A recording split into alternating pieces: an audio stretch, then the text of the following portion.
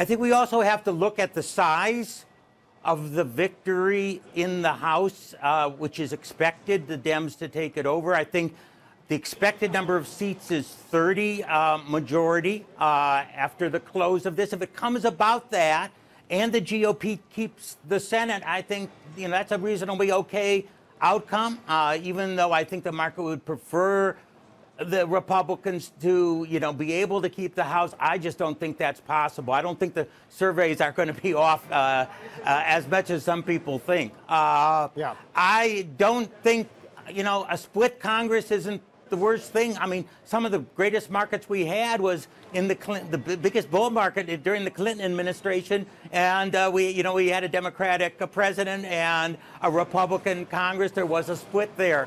I, I think what what is a little worrisome if if there is a blue wave. Now I'm not saying there is, but if we say something like uh, 45 seats majority above or consensus. more in uh, yeah above consensus and or the Senate you know goes to even or you know even Democratic. The question is, what does that mean for 2020?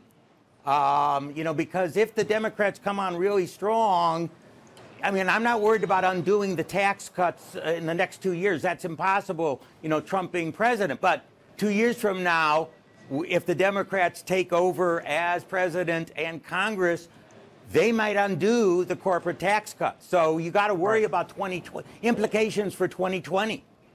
Right. Uh, Professor, obviously everybody knows by now uh, how markets have behaved seasonally in a midterm year, or at least the nine months following a midterm. Uh, others argue that uh, the president has essentially front loaded policy in the first two years of his term. And I wonder if you think that seasonality holds up this time. Yeah, and I'm, I'm questioning. Yes, we all know third year presidential election after the midterms is usually a good year, but I do question whether that's necessarily going to be true because the corporate tax cut has already happened. The you know lowering of the regulation has happened.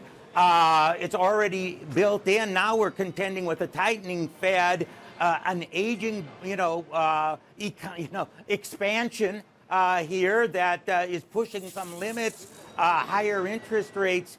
Um, I'm, uh, you know, and if the Democrats come on really strong here, I think there's a lot more uncertainties that'll make next year not going to be the stellar year we usually get in the third year presidential cycles.